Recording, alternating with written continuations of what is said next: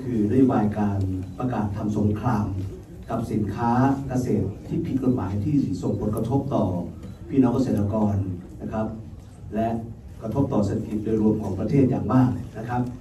ซึ่งสินค้าหลายประเภทนะครับที่เรามีการปราบปรามอย่างเอาจริงเอาจังทำให้ราคาพืชผลทางการเกษตรนะครับนะครับ ยกฐานะดีตัวขึ้นนะครับ ยกตัวอย่างสินค้าประเภทยางพารานะครับ ซึ่งก็เห็นเป็นประจักษ์ว่า เราเดินทางมาถูกนะครับทิศทางที่เรากำลังแก้ไขปัญหาให้กับพี่น้องเกษตรกรนะครับ แต่สิ่งที่เราเป็นห่วงนะครับ แล้วก็พี่น้องสื่อมวลชนหลายท่านตลอดจนถึงพี่น้องประชาชนให้ความสนใจ นั่นคือการปราบปรามสินค้านะครับ ภาคปศุสัตว์และภาคประมงตามที่ได้เป็นข่าวเมื่ออปี 2566 นะครับ ซึ่งหลังจากที่มีการดำเนินคดีกับผู้ที่เกี่ยวข้อง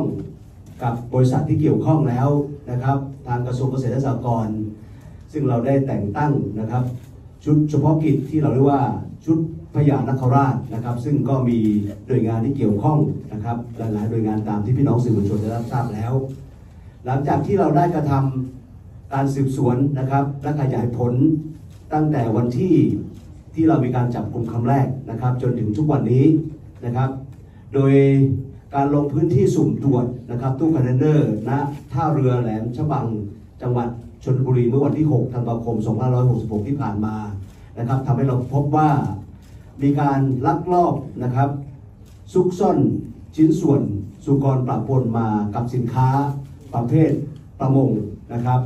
ซึ่งเรามีการขยายผลจนนำมาการแจ้งความดำเนินคดีนะครับ ซึ่งในวันที่ 18 มกราคม 2567 ที่ผ่านมา นางเราได้ตั้งวอรูมในได้รับความร่วมมือจากผู้เชี่ยวชาญจากกรมประมงกรมปศุสัตว์และหน่วยงานที่ตรวจที่เกี่ยวข้องทั้งหมดนะครับ ตรวจสอบเอกสารการนำเข้าสัตว์น้ำของกรมประมงพบว่าเอกสารมีการปลอมแปลง และได้ดำเนินแจ้งความต่อกรมสอบสวนหน่วยตำรวจสอบสวนกลางเป็นที่เรียบร้อย 20 คดีนะครับ หลังจากนั้นนะครับล่าสุดวันที่ 14 มีนาคมที่ผ่านมานะครับชุดเฉพาะกิจพยานนักราชได้แจ้งความต่อ ผู้จัดการสอบสวนกลางนะครับจำนวนอีกหนึ่งราย 220 คดี ซึ่งถือว่าเป็นเรื่องสำคัญ ซึ่งมีการปลอมแปลงเอกสารเพื่อใช้ประกอบในการขออนุญาตนำเข้าสินค้า สัตว์น้ำต่อกรมประมง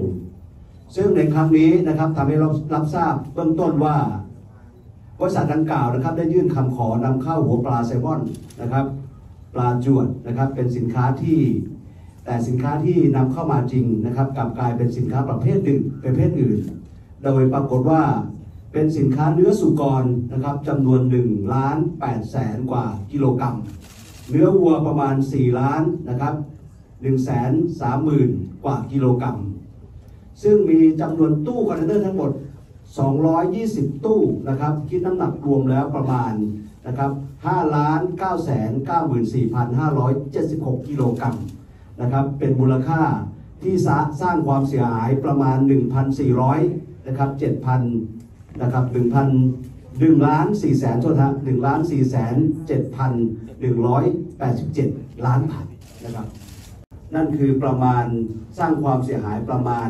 นะครับเกือบ 3,000 ล้าน ซึ่งสิ่งเหล่านี้นะครับเป็นการทำลายนะครับภาคการเกษตร นะครับทำให้พี่น้องเกษตรกรนะครับ ไม่ว่าจะเป็นผู้เลี้ยงสุกร หรือผู้เลี้ยงโคนะครับได้รับผลกระทบ